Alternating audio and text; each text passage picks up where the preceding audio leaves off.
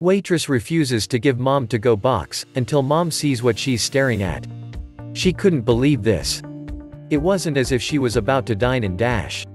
She had the money in her hand. Then, she realized what the waitress was looking at. Her face burned red with embarrassment. Enough was enough. All she wanted was a nice family meal. It had been months since she got to eat out. But things were looking bleak. Everyone was staring at them. The whispers were getting louder and louder as she waited patiently for the to-go box. What was taking so long? When the woman finally returned, she was at a loss for words. Motherhood was always on the cards for Courtney. She was always in awe of her little nieces, nephews, and cousins. But that best thing about babies was handing them back to their mothers when they began a tantrum. She loved them, but she wasn't ready to give up her freedom just yet. Courtney was young. The whole world was waiting for her. Once she finished high school, she did as much traveling as she possibly could. She loved meeting new people. She didn't know what she was going to do the rest of her life, but she wanted to have fun for the time being. She made sure to make some memories. Courtney met Nick in a nightclub when she was 21 years old in her hometown of North Carolina. He was a few years older, but he was mature and sweet. He promised her the world. They went on extravagant dates, and it was the first time she had ever been swept off her feet. After a few months, he told her that she was the one woman for him. Courtney thought she was the luckiest girl in the world. But her bubble was about to be torn apart. At 22, Courtney discovered that she was pregnant. She was afraid, but she was also happy. She knew that Nick was the man for her. She couldn't see herself settling down with anyone else. She arranged a candlelit dinner for them in his apartment. When he returned home, she told him the big news. But she didn't expect this reaction. Nick was a different person the moment Courtney told him she was pregnant. He turned cold and cruel. He didn't want anything to do with her. Finally, he encouraged her to get an abortion before storming off. Her stomach turned. What was she going to do? How could she raise a baby by herself? She wasn't going to let him get away that easily. Over the next few days, Courtney called and texted Nick constantly. Maybe he just needed some time to process the news. He would never do this to her. He was one of the good ones. But when his number finally disconnected, she had to come to terms with reality. They were done, and he wanted nothing to do with her or the baby. Now, she had some decisions to make on her own. Courtney didn't get a chance to dwell on her own self-pity for too long.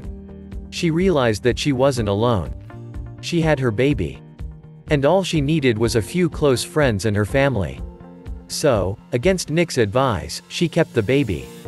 Sure, it wasn't an ideal situation. But when was the right time to have a baby anyway?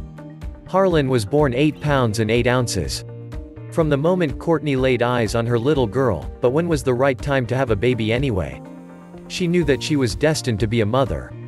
She knew that no matter what life would throw at her, she would be just fine. She didn't need a prince, all she needed was her little girl. The first few months were harder than expected. Courtney was anxious anytime Harlan was out of her sight. But as time went on, she began to realize that she needed time to herself. Courtney wanted to get dressed up and go out. Harlan's stepfather had just proposed, and they wanted to celebrate as a family. That meant that 18-month-old Harlan had to be on her best behavior. She never expected their quiet night out to cause such a ruckus. And she definitely didn't think she would have this run-in with an employee. When they sat at their table, Harlan was having none of it. She began to fool around in a bid to get everyone's attention. And when she was told to stop, tears began to fall. She had me so overwhelmed from letting all of Olive Garden know she was in the house and trying her best to wiggle her way down me to run the restaurant, Courtney explained. She only had one option. Courtney quickly flagged down her server, 22-year-old Niani Rudder, to ask for a to-go box. She really said, no, Courtney later shared. She was horrified. As if the experience wasn't embarrassing enough, now the server was being completely unhelpful. All she wanted was a box to bring their meals to the car. But as the waitress made her way to Harlan, Courtney's heart stopped. You're going to go sit down and enjoy your dinner and I will be there to sit with her. Niani told the frazzled mother. Courtney was speechless. Harlan wouldn't sit for her mother, she was hardly going to do it for a complete stranger. Courtney wanted to get out of there as quickly as possible. She was sick of people staring and whispering. But Harlan was smitten. She sat giggling away with Niani. Courtney couldn't believe what she was seeing. Girl, you will never truly know how appreciative I am for tonight, Courtney later shared online. I seriously admire you. Unfortunately, that wasn't the first time Harlan has been grouchy. Usually, Courtney and her partner took turns bringing her for a walk outside so she wouldn't scream the building down. They never thought a waitress would come to their rescue. I just didn't want her to leave, Niani later explained. She came out to enjoy a meal with her family, and she should be able to do that. I didn't think she had to leave or go sit in the car to eat the food because her baby was fussy. And although many of the customers weren't impressed with the noise level, Nanny didn't think it was an issue. They're little kids, Niani added, that's just what they do. Although Niani's gesture was just to help a mother in need eat a hot meal, Courtney is still in awe of what happened. Never in her life had someone been so understanding of their situation. Kids were kids. Most of the time, adults didn't understand, but Niani did. And Courtney couldn't express her thanks. Niani is just an awesome person, Courtney said. I was just in complete shock because nothing has ever happened to me like that. I just wanted to shine some light on the person she is.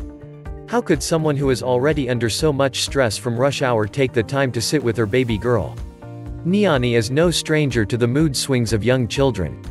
Her niece has just graduated from the terrible twos and has now been accepted to the terrifying threes.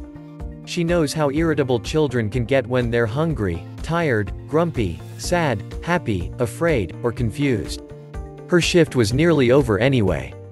And there was plenty of other staff on to help bustle tables. But what would her manager think of her taking a break? My managers are great, Niani explained. Our motto at Olive Garden is, when you're here, you're family.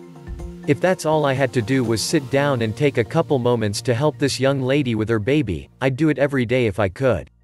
And Niani's efforts haven't gone unnoticed. Courtney's post on Facebook has gained thousands of likes and comments. The online community has raved about Niani's kind gesture. Mothers, sisters, and aunts have shared their appreciation for understanding a mother's plight. But was everyone in the restaurant that night as understanding?